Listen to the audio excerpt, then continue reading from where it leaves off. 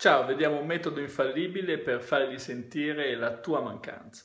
È ovvio che se tu vuoi far sentire la tua mancanza a una persona, eh, questa persona deve prima sentire la tua presenza, perché non può sentire la presenza se non sente la mancanza. E perché fargli sentire la mancanza? Per aumentare il desiderio nei tuoi confronti.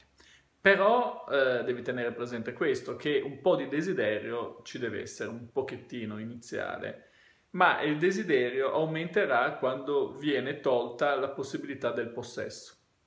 Cioè, per fare un esempio, se tu hai una, un'auto nuova di tua proprietà che puoi usare tutte le volte che vuoi, esattamente quando, quando vuoi senza nessun problema, inizialmente sarai contento di avere quest'auto, la possederai, la possederai, proprio anche per la novità, diciamo, ma dopo un po' quest'auto qua Certo, lo guiderai lo stesso per necessità, ma non più per eh, piacere, non ti darà più pathos, non ti darà più emozione.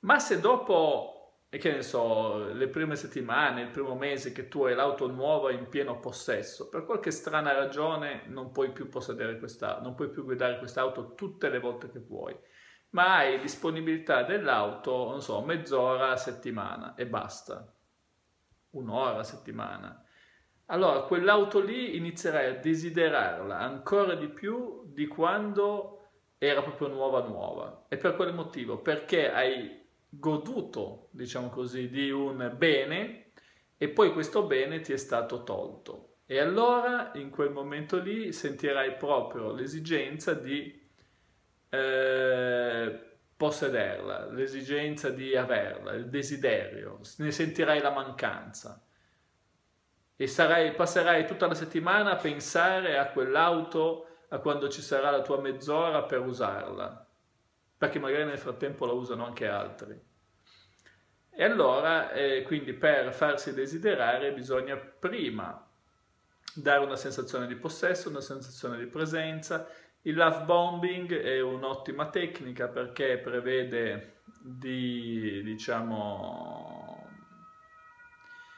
di mandare tanti messaggi di affetto, mandare messaggi di presenza, quindi tanti complimenti, essere presente, disponibile, messaggi d'amore, in modo tale che lui poi, eh, quando, o lei, quando tu inizi a togliere, inizia a sentire la mancanza. Quindi prima love bombing, quindi bombardamento d'amore e dopo gradualmente togliere, in quel momento lì che sentirà la mancanza. E anche se all'inizio non era coinvolto nei tuoi confronti, dopo lo sarà, perché l'immagine della perdita quando si erge forte all'interno di un essere umano dà i suoi risultati. Bene, per questo video è tutto, se ti iscrivi al canale avrai la possibilità di fare una domanda e di ricevere un video di risposta. Se il video ti è piaciuto metti un like e condividilo con i tuoi amici. Ciao!